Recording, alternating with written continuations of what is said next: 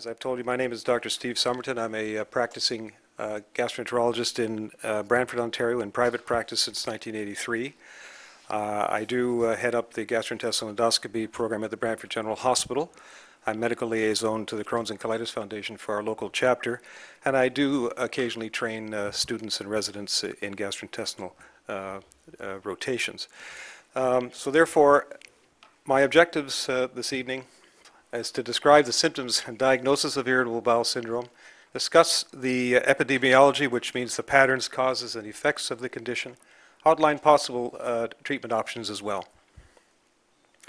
The slide's a bit busy, but uh, as you can see, uh, the uh, irritable bowel has a, um, a distinction in that there are a number of interactions between causes and effect.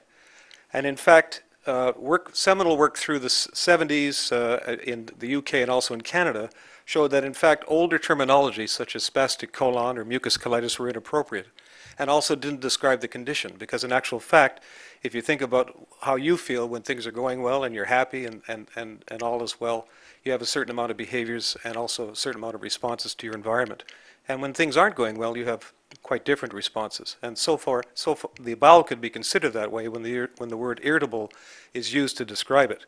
And it's not just the colon. We know from experience and from research that in fact it's other parts of the gastrointestinal tract and sometimes not the gastrointestinal tract that also are participating in the, in the entire syndrome. So bowel means more than just the colon. And syndrome is the word that's used to describe a, constellations of, a constellation of signs and symptoms that describe the condition that you're, uh, you're relating to. So it's a syndrome, a collection of observations, signs, and symptoms.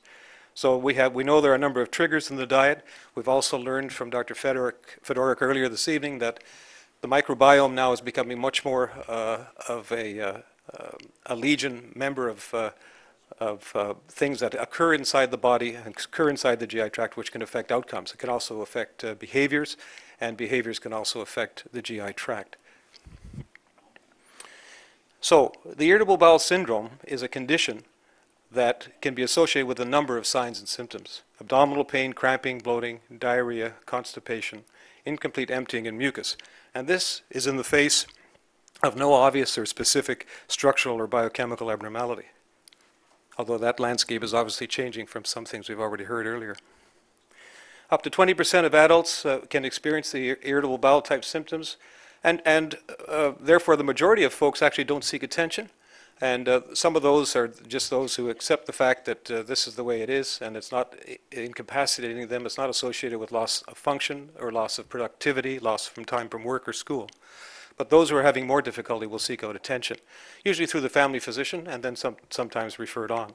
So we see just a, we just capture as specialists just a, a fraction of these folks. Females are twice as likely to be diagnosed as males, and uh, constipation tends to be more of a problem there. And it's the second most common reason for missing work, with uh, influenza being number one.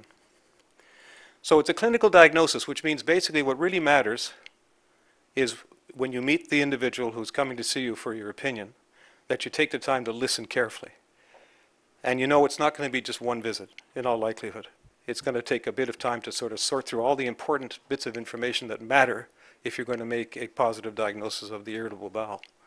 We can talk about that a little bit in the uh, discussion period. Uh, there are tests that are occasionally done. I'll go, go, back, uh, go back to that in a minute with the next slide or two.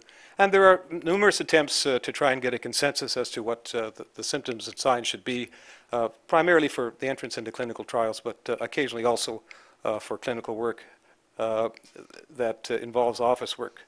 So basically, within six months of, of the diagnosis, there should be the following seen three days per month or so where the um, where the patient, sorry, the recurrent abdominal pain that's at least three days per month and two or uh, out of three of the next.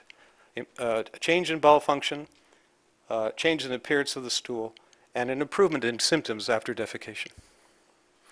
I think I'll skip that, although that's, uh, that may be humorous. You know what that is? Okay, that is a stool chart. It was uh, published in the mid-1990s by the group in Bristol. Uh, it's probably also more for, uh, for a research tool than it is for a practical tool. And quite often people come to see me, they've got their iPhones. This is the age where they just say, here it is, doc, see what I did this morning. What, can be, what can be worrisome symptoms? Uh, worrisome symptoms, of course, uh, onset over age 50, weight loss, blood in so-called alarm or red flag signs, fever, perhaps fever associated with abdominal pain, not just fever by itself, nausea, vomiting. We mentioned that occasionally uh, other signs and symptoms of irritable bowel uh, can, can come on with nausea or biliary uh, dysfunction, but in fact, if you have nausea, vomiting, and weight loss and other such things, you'd be a little bit more concerned. Diarrhea that's inappropriate or it's new or, or comes on at uh, odd times of the day where it uh, normally would not.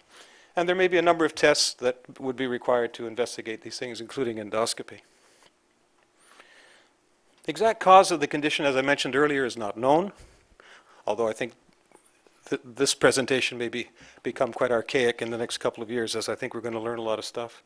Altered motility is, is definitely noted for a number of uh, factors, including the microbiome. Um, this can follow gastrointestinal infections. Uh, uh, that's so-called post-infectious irritable bowel, where in fact the bacterium or, or, the agent that's caused the problem is cured and removed, but the patient still lingers with abnormal symptoms uh, and don't return to their normal bowel function. Various food intolerances, bacterial overgrowth, which is usually in the small intestine and can be treated with certain antibiotics, and a lower pain threshold, uh, which also can be moderated perhaps by the microbiome. We've done that. How do we treat it? Uh, very, very briefly, there are a number of options for treatment, but there's no absolute effective treatment. But one of the most important things also, as I mentioned at the outset, is to, to, take a very careful history. This is where the money is. You have to listen. You have to get clues and hints from the, from the, uh, the history as to where to go in terms of uh, subsequent attempts at treatment. Dietary modifications are sometimes helpful. A food log can help. Uh, increased fiber depends uh, quite often on the presentation. Some people with irritable bowel have more diarrhea, some have more constipation, some have a mixture of both or vacillate between the two. So you got to choose your fiber properly, soluble versus insoluble to make sure you don't make things worse. Lifestyle modifications as, as seen fit and certain behavior modifications. Certain medications are available. Uh, none are totally effective. They're basically aimed at symptoms, including antispasmodics, antidiarrheals, laxatives, low-dose antidepressant medication. Beware and antibiotics where appropriate. So in summary, irritable bowel syndrome is characterized by a variety of symptoms including abdominal pain, bloating, and alter alternating constipation, diarrhea. Uh, it affects about uh, 15 to 20 percent of all adults. Its, di its, diagnosis is primarily based on symptoms. The exact cause is unknown, but altered bowel motility, previous infection, food intolerance, and stress and anxiety. Didn't talk much about that, but that's a huge component to this problem. It's not a condition that leads to cancer or life-threatening illness, and therefore patients really need to be reassured that they're okay. And treatment is aimed at preventing uh, or relieving symptoms, as we've mentioned. Thank you so much for your attention.